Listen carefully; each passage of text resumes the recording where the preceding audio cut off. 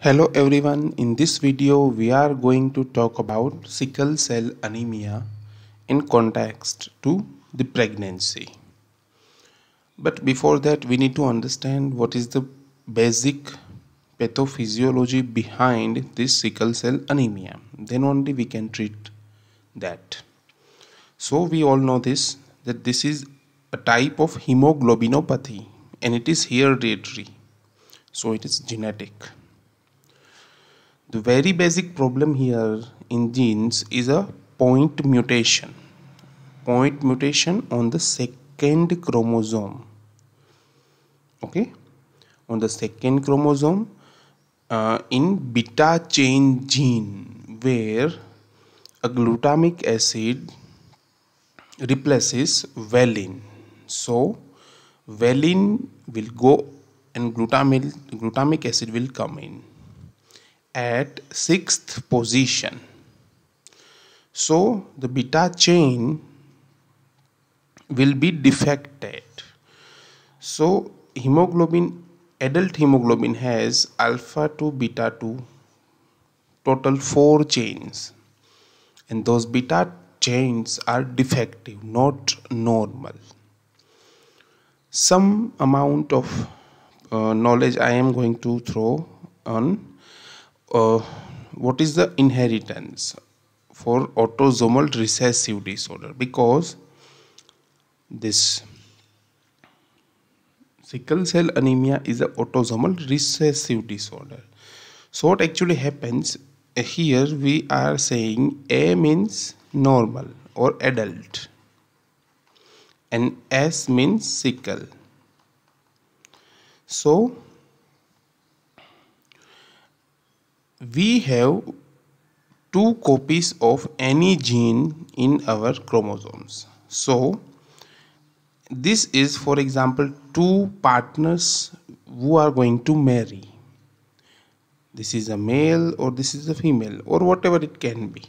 Male female okay. The male and female the male is has AS gene means one copy of gene is okay. But the second copy of gene has point mutation sickle cell point mutation. And the other partner is completely normal. Both of the copies are normal. So if they have a baby and then what are the chances the baby that have uh, this kind of sickle cell hemoglobin sickle cell gene mutation. The first chance is of a a that means this child is normal. Second also is a a that means this child is a normal. Now s a s a. So this both uh, child have are carriers child because they have only one gene and only one uh, copy of gene that is defected. So you can see here we have seen probability of four childrens so 20 uh, 50 percent of the children can be normal but the 50 percent can have one copy of gene that is mutated. So they are called carriers and also can uh, can also be called trait. So sickle cell trait is not a very big deal it's okay. So if some uh, one of the partner or mother or father having a single gene that is mutated then the children have 50 50% chance being a carrier.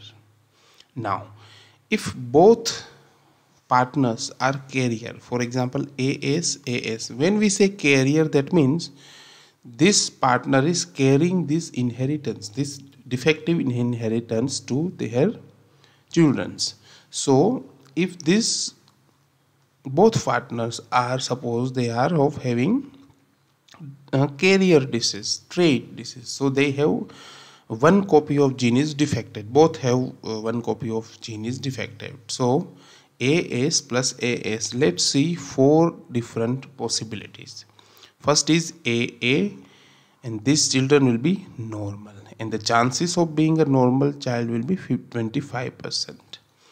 Second one is AS and AS. So this AS AS childrens are carrier as we know this thing and these and they have 50% chances of becoming a carrier and AS AS SS so this child have both copies of gene that is mutated. So this child will have a disease. And the chances of being a defective child diseased child is of 25 percent. So when the both partners are carrier then we need a preconceptional counseling for the patient that yes you can have one 25 percent of possibility of having defective child. Okay full blown diseased child okay so when we uh, screen a partner and if we find that yes the partner is a carrier then we need to screen the other partner also. Okay? Now let's see some some types of hemoglobin. Hemoglobin f is a fetal hemoglobin. Fetal hemoglobin has two alpha chain two gamma chains. Adult hemoglobin has two alpha chains two beta chains Hemoglobin S means sickle cell hemoglobin has two alpha chain and two beta chain but the beta chain will be defected. Hemoglobin A2 adult that has two alpha chain, two delta chain. Okay. So, uh, if we say if the uh, if some person is a carrier, if some person has a disease, if some person has has been a carrier or AS then it is called sickle cell trait. And if we see into them 55 to 60 percent of hemoglobin is of HbA that is a normal amount of hemoglobin normal hemoglobin.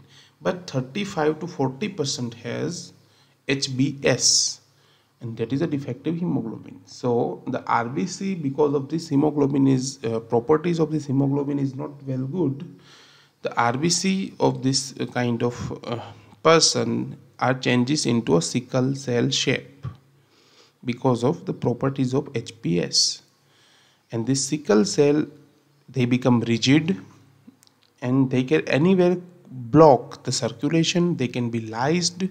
Their lifespan is also very less and uh, they can cause obstruction. And because of obstruction in the blood vessels they can generate a focal small infarction of the tissues uh, which blood vessel they block. Okay. And that's why the decreased oxygenation will be there. So this is a sickle cell crisis. Sickle cell crisis happens because of obstruction of small blood vessels because of this sickle cell RBCs if we talk about sickle cell disease then we we will get no amount of hemoglobin A that is adult hemoglobin normal hemoglobin. But on, we will only have HbF and HbA2 because beta chains are defective we don't have beta chains at all so HbF will have uh, some amount of HbF and HbA2 will be there. Baki all amount of HbS will be there okay?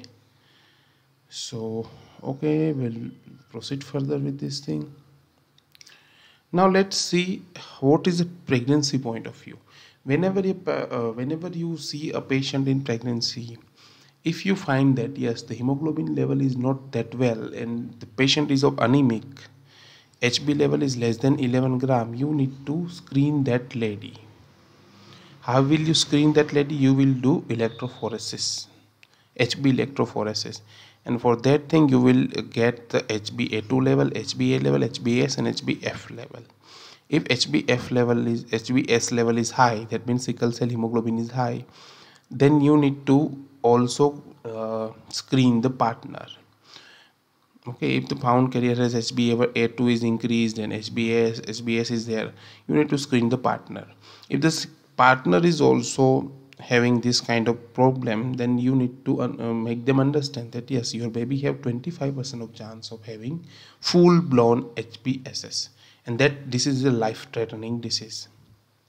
So prenatal counseling is must what is the treatment? Treatment has uh, generally has no any problem because uh, uh, generally we find carrier patients. Generally we will find a carrier patient. And for that patient we we have to supply the folic acid 5 mg daily. We have to give prophylactic antibiotic that is penicillin. We have to be blood uh, hb level more than 11 gram. So hb level should not decrease in this patient. So we can give prophylactic blood transfusions even. Postnatal thromboprophylaxis should be given because pregnancy is already a hypercoagulable state and this sickle cell increases the chances of coagulation. So this is how we see a sickle cell disease in pregnancy